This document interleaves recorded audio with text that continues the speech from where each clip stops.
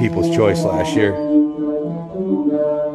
at the biggest truck show in the country, Louisville. I'll put a link to the video we did about two months ago. He had this right down in the frame. When I say right down in the frame, it was just the frame laying on the